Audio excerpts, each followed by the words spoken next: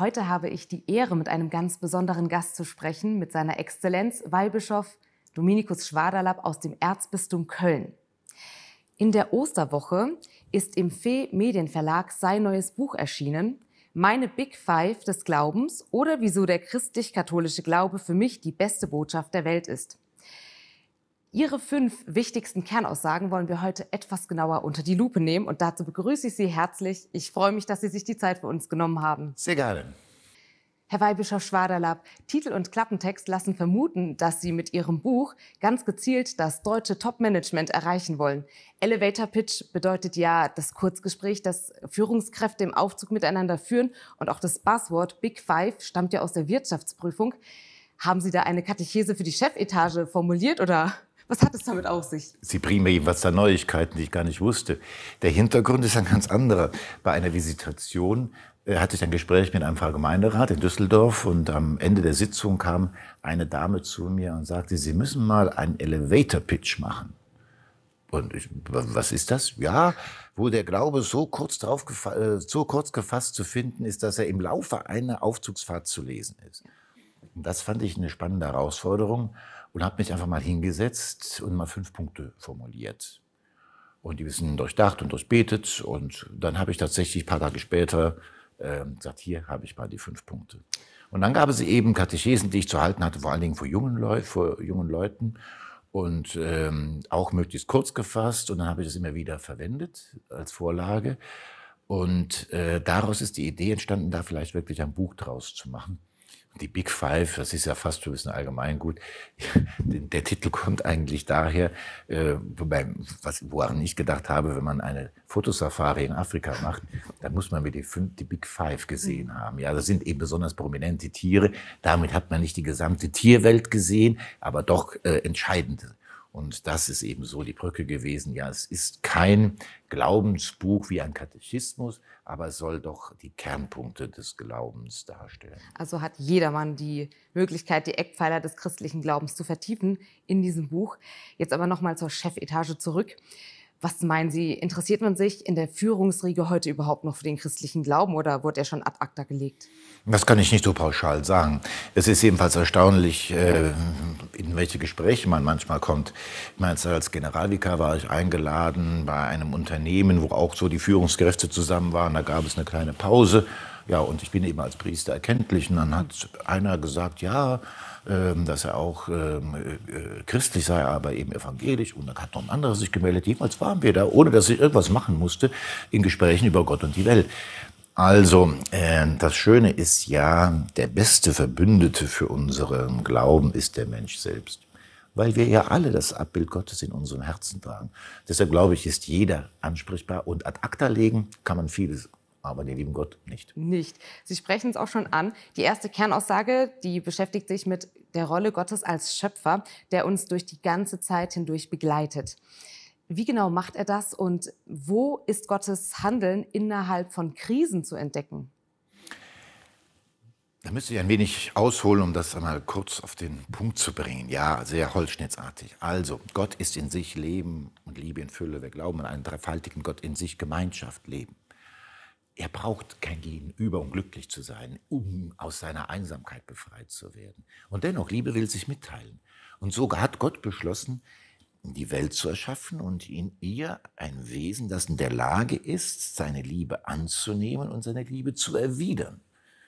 Um lieben zu können, muss man frei sein. Zur Liebe kann man nicht gezwungen werden. Liebe und Zwang äh, scheiden einander aus.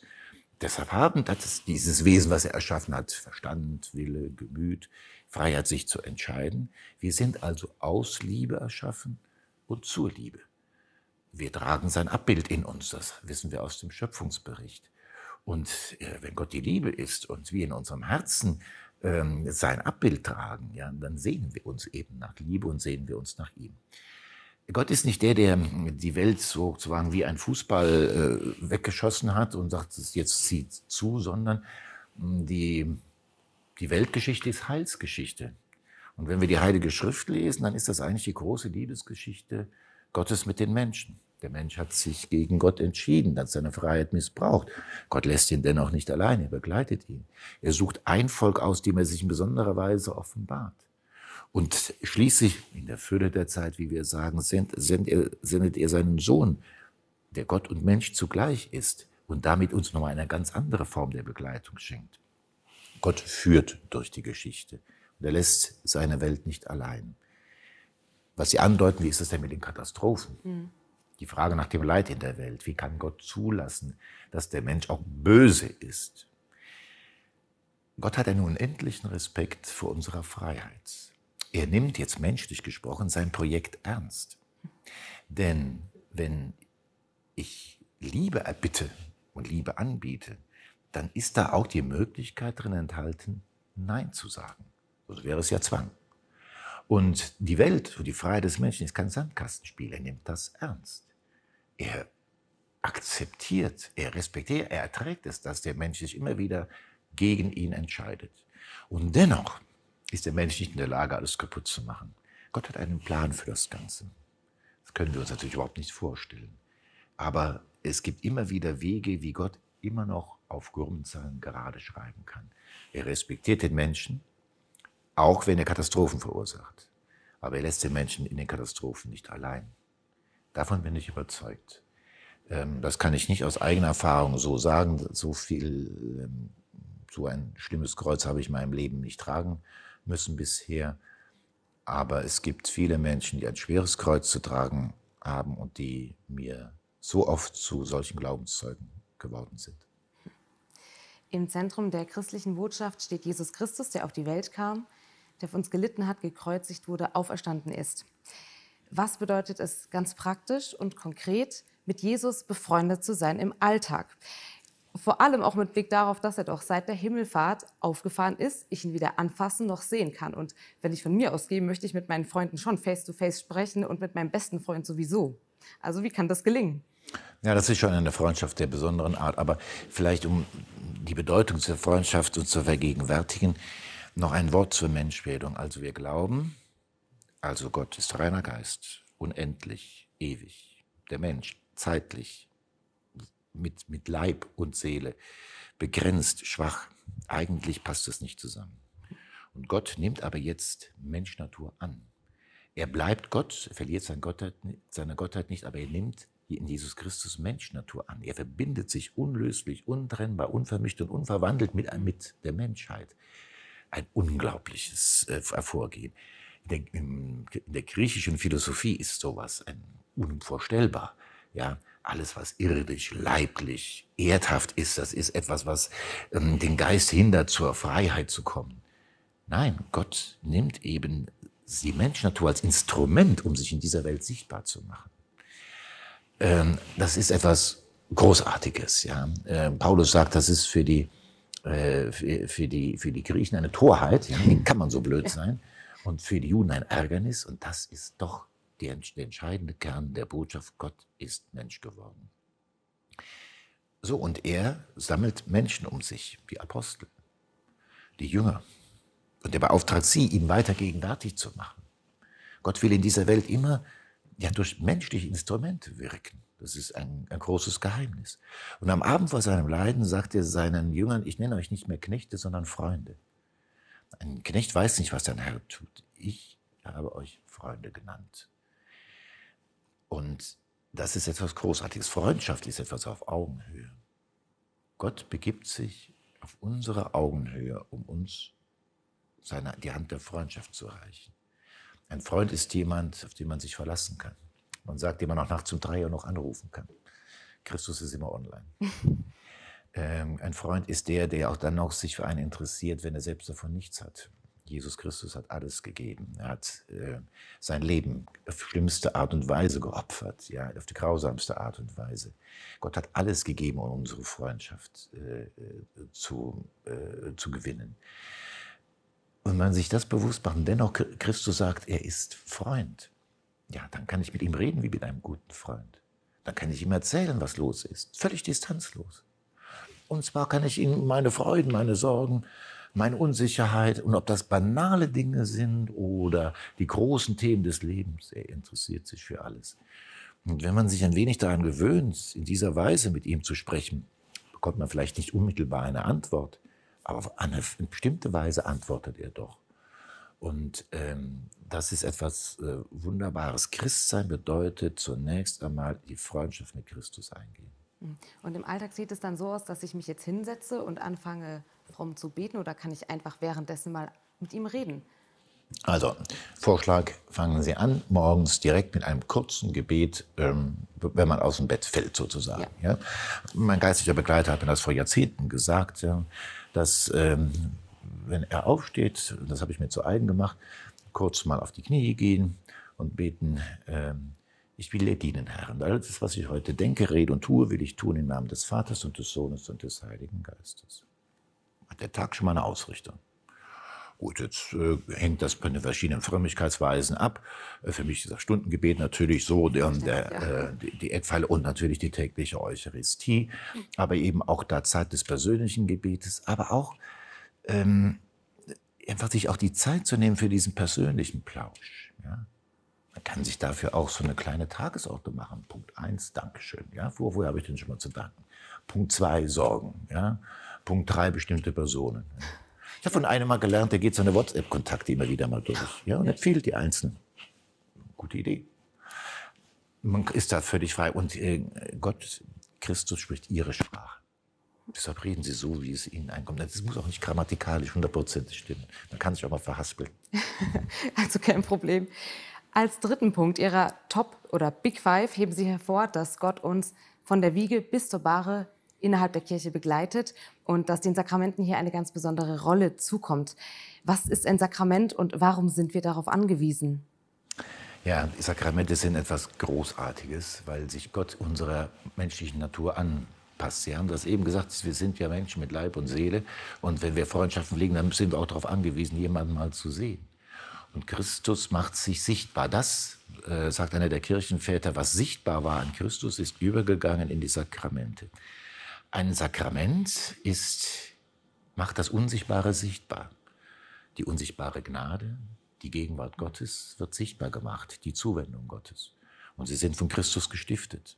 Also klassisch, ein, ein Sakrament ist ein äh, von Christus gestiftetes Zeichen. Und mit diesem Zeichen ist eine Gnade verbunden, die einem damit geschenkt wird. Ja mit dem Übergießen des Wassers und den Worten, ich taufe dich im Namen des Vaters und des Sohnes und des Heiligen Geistes, sind sie wirklich zu einem Kind Gottes geworden.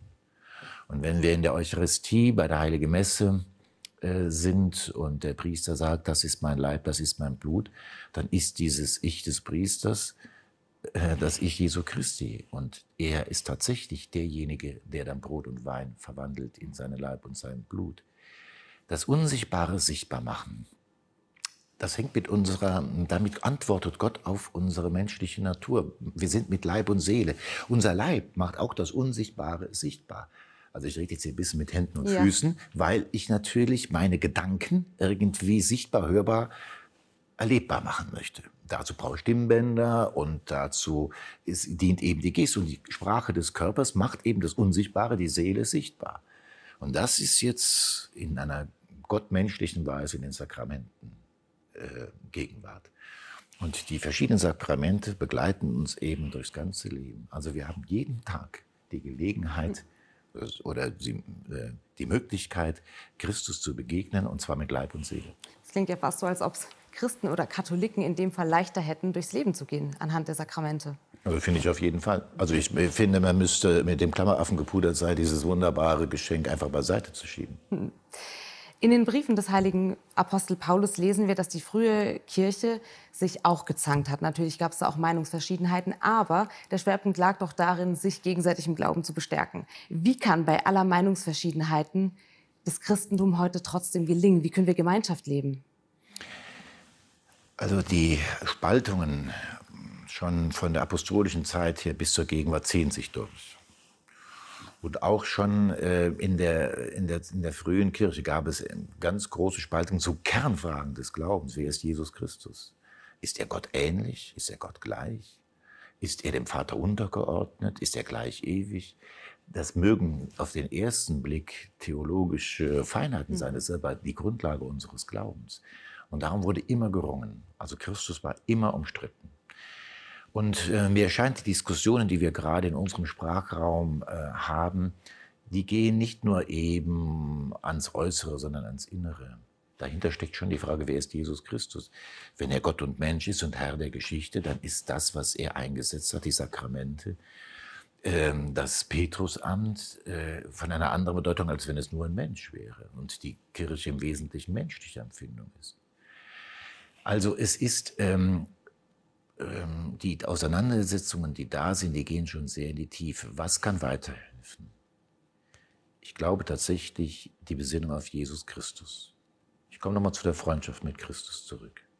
Wenn Menschen miteinander wirklich beten, nicht um irgendwie mal jetzt äh, einen, einen, frommen Akzent zu setzen, damit die, die fürs Beten so brennen, auch noch zufrieden sind, sondern wirklich gemeinsam beten und Christus anbeten, dann glaube ich, werden uns da auch Brücken geschlagen. Und ähm, ja. Würden Sie das auch Menschen raten, die ernstlich überlegen, aus der Kirche auszutreten angesichts der Krisen, die gerade vorherrschen? Ja, ähm, das würde ich den, den Menschen äh, raten und vielleicht da etwas aus meiner Sicht dazu. Hm, ich bin leidenschaftlich gerne katholisch. Und ich war vor meiner Zeit als Weihbischof Generalvikar. Und als Generalvikar hat man auch mit allen Tiefen und Abgründen der Menschen zu tun, auch der Priester und mit allen Schwächen, allem Versagen. Ich bin super gerne katholisch, nicht weil wir alle so toll sind, sondern für mich ist es faszinierend, dass seit der Schaffung der Welt Gott sich nicht von seinem großen Projekt Menschen und Reich Gottes ab, hat abbringen lassen. Und dass er immer wieder von Adam und Eva über Noah und Abraham und Mose und die Propheten und die Apostel und bis heute uns erwählt hat als Instrument, um in dieser Welt sichtbar zu werden. Und bei allen Abgründen, die es gibt, es gibt auch immer wieder großartige Glaubenszeugen. Und ähm, Christus hat die Kirche gegründet. Und durch die Taufe bin ich in diese Kirche hineingeboren. Und Teil dieser Kirche, die die Gemeinschaft Jesu Christi ist. Ähm, und besinnen wir uns darauf, Christus ist der Bessere. Deshalb bin ich katholisch. Die letzte Säule ihrer Katechese betrifft die Erfüllung des Menschen im Himmel. Gerade glaubensferne Leute sagen, dass sie doch ein erfülltes Leben hier auf der Erde führen. Wie geht es denn mit der christlichen Verheißung zusammen? Wenn wir doch hier schon ein gutes Leben führen, naja, also da mache ich mal ein Fragezeichen dran. Also ähm, ob sich die Menschen wünschen, dass das Leben hier endlos weitergeht, also wirklich Erfüllung finden wir hier nicht. Es ist doch interessant, ich meine, da lebt natürlich auch die Wirtschaft von, dass ähm, wir eigentlich unsere Wünsche unersättlich sind. Ja? Haben wir ein kleines Auto, möchten wir ein größeres haben. Haben wir ein Urlaubsziel in der Nähe, wollen wir eins weiter weg. Äh, und so weiter und so weiter. Der, niemals wird der Mensch sagen, so, jetzt habe ich alles. Ich bin mit allem zufrieden, ich brauche nicht mehr sondern wir wollen eigentlich immer mehr. Und dieses Mehr ist ihm natürlich das Echo darauf, dass wir Abbilder Gottes sind, ja, und das Abbild sich nur mit dem Urbild zufrieden gibt. Zudem kommt irgendwann der Zeitpunkt, wo es eben nicht mehr so glatt läuft. Irgendwann kommt das Thema Krankheit und irgendwann kommt auch der Tod. Und was dann? Hm. Und ähm, das ist eben die Botschaft, dafür ist Christus auch in die Welt gekommen, um uns eben das Tor zum Leben zu öffnen und dass eben gegen das, was kommt, das hier nicht mehr als ein Vorspann ist. Ja? Also wenn man in Urlaub fliegt zum Beispiel, ja, und dann ist man am Flughafen und steht in der Schlange bei der Sicherheitskontrolle und und, dann erträgt man das, ah, man hat das Urlaubsziel vor Augen, irgendwie geht das schon. Aber niemand käme auf die Idee zu sagen, also das Schönste am Urlaub ist am Flughafen zu warten. Und dann kommt man irgendwann an, an das erträumte Ziel. Das ist ja meistens nicht so äh, erträumt, wie man sich das vorgestellt hat. Und der Himmel, der ist aber so. Gegen das, was wir hier erleben, ist es ein viel krasserer Unterschied als zwischen Flughafen und Urlaubsziel. In der kirchlichen Verkündigung wird ja kaum ein anderes Thema so stark gemieden wie die Möglichkeit, das irdische Ziel, also den Himmel, zu verpassen. Wenn Gott doch das Heil aller Menschen möchte, ist dann der Himmel eigentlich nicht eine Art Automatismus? Wir sind wieder da, wo wir am Anfang angefangen haben, bei der Freiheit des Menschen. Äh, und dass Gott eben äh, unser Leben hier nicht als Sandkastenspiel sieht, sondern ähm, dass er uns wirklich respektiert, wenn wir auch in Freiheit bis zum Schluss gegen ihn entscheiden.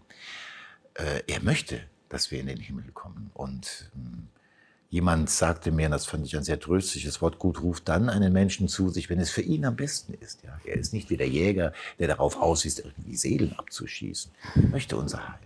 Und dennoch respektiert er auch, wenn wir uns gegen ihn entscheiden würden. Ich hatte mal ein Gespräch in einem Haus ähm, für Jugendliche, für Mädchen zwischen 14 und 18, die Schweres erlitten haben zu Hause, Formen, diverse Formen des Missbrauchs. Und die wollten ein Gespräch mit mir. Und interessanterweise war da das Thema, wie kann denn Gott barmherzig sein? Wie kann denn der, dem er das und das angetan hat, naja, auch im Himmel sein? Hm. Da war eher die Frage, wie ist denn das mit der göttlichen Barmherzigkeit zu verstehen? Das kann doch nicht sein. Die Hölle muss doch da sein.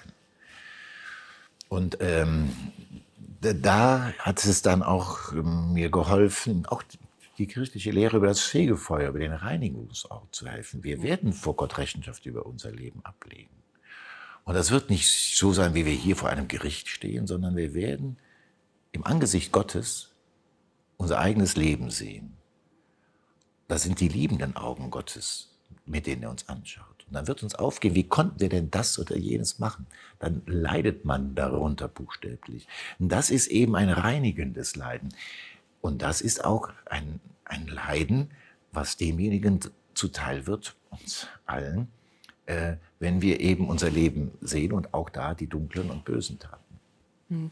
Sie haben eben gesagt, dass wenn man sich bewusst gegen Gott entscheidet, dann vielleicht auch im letzten Moment vor dem Sterben, dass man diese Möglichkeit des Himmels ausschließt und ähm, an einen anderen Ort oder in einen anderen Zustand kommt, aus freien Stücken in der Ewigkeit, kann man sich dann nicht mehr umentscheiden. Also ist es damit endgültig? Ja, die Zeit der Entscheidung ist die Zeit unseres Lebens. Wenn das Leben beendet ist, ist die Entscheidung gefallen. Hm. Ähm, das nützt auch nicht, das weiter hinauszudehnen. Ähm, ähm, aber wir, die, die, unsere Bewährungsprobe ist eben hier dieses Leben. Ja. Und ähm, aber wir müssen jetzt auch nicht in Angst verfallen. Also noch einmal, Gott will das Heil des Menschen, er baut Brücken. Und man sagt doch, dass in der Sterbestunde Gott auch alle Gnaden gibt, die man nur sich denken kann, um äh, eben da noch die Kurve zu bekommen. Ja. Und darauf vertraue ich, auch da sollten wir auch vertrauen. Es wäre aber vermessen zu sagen, ach, der liebe Gott ist schon mal herzlich, ist egal, wie ich lebe. Das ist Vermessenheit. Welche Ratschläge würden Sie unseren Zuschauern mitgeben, damit es eben beim Schließen der Augen kein böses Erwachen gibt und man sich einigermaßen sicher sein kann, dass man gut gelebt hat?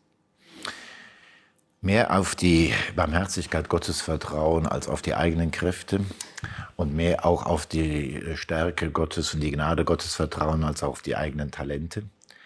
Ähm, und ja, wir sollten ja eigentlich so leben, äh, dass wir jeden Tag vor das Angesicht Gottes gerufen werden können. Und das Nachtgebet der Kirche, die Komplett im Stundengebet, ist eigentlich das Sterbegebet. Man macht, man bekennt seine Schuld, man macht eine Gewissenserforschung und legt alles in die Hände Gottes. In deine Hände lege ich mein Leben. Und ich glaube, es ist gut, so zu leben, dass man jederzeit gerufen werden kann. Dann müssen uns auch nicht irgendwelche Prophezeiungen von Weltuntergängen äh, bange machen. Äh, sollte uns ohnehin nicht. Ja, was heißt der Weltuntergang? Dass Christus kommt, das Besseres kann uns ja nicht passieren. Aber ähm, tatsächlich versuchen in dieser Gegenwart Gottes zu leben, in der Hoffnung auch auf das äh, Schöne, was uns da, ähm, was, was uns da erwartet und da eben auch alle Kräfte für einzusetzen. Wenn ich das noch sagen darf, ich wurde auch mal beim Gespräch mit jungen Leuten äh, gefragt, äh, glauben Sie an ein Weiterleben nach dem Tod? Da sagte ich, allerdings, dafür stehe ich auch hier. Und dann ähm, sagte der, ähm, ja, wie soll das denn aussehen? Wie ist denn der Himmel? Und ich hoffe, dass der Heilige Geist mir da geholfen hat. Ich habe ihm nämlich gesagt, also stell dir mal einen glücklichen Augenblick in deinem Leben vor. Ja, hörte er. So, und dieser glückliche Augenblick, tausendmal intensiver und ohne Ende, das ist der Himmel. Die Reaktion des Jungen ist ja voll krass. Ja? Das ist unser Ziel. Das ist voll krass. Um nochmal zum Elevator-Pitch zurückzukommen, den wir zum Beginn genannt haben, was macht denn jetzt den christlich-katholischen Glauben für Sie persönlich zur besten Botschaft der Welt? Alle fünf Punkte zusammen. Die Freundschaft, die Christus uns anbietet, die Begleitung, die er uns schenkt, eben in den Sakramenten ganz besonders als die Eckpunkte meines alltäglichen, meines ganzen Lebens. Die Perspektive auf den Himmel und nicht alleine unterwegs zu sein, sondern gemeinsam.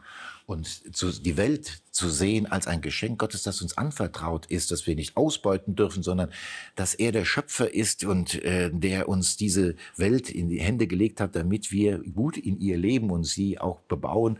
Äh, aber eben nicht zerstören. All das zusammen die beste Botschaft.